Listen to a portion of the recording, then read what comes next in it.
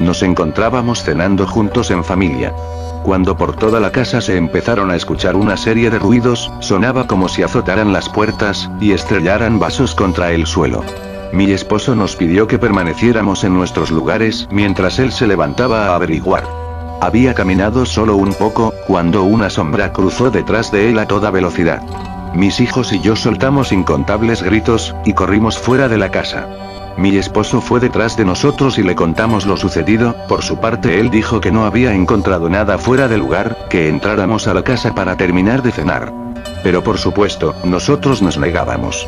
Aún así, tuvimos que hacerlo, porque afuera estaba helando, pero mis hijos no quisieron dormir en sus habitaciones. Colocaron cobijas alrededor de nuestra cama, y no querían cerrar los ojos. Apenas habían pasado unos minutos, cuando los sonidos en la cocina se escucharon de nuevo, esta vez de forma más intensa, no sé si por el silencio de la noche, o porque el fenómeno se presentaba de manera más violenta.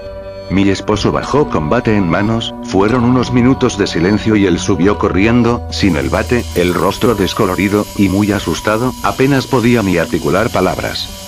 Dijo que en la cocina estaba su hermano, pero no era real, estaba traslúcido y con una gran herida abierta en su cabeza. No sabíamos qué hacer, estábamos muy desconcertados, y lo estuvimos mucho más, cuando recibimos una llamada diciendo que mi cuñado había muerto al caer del techo.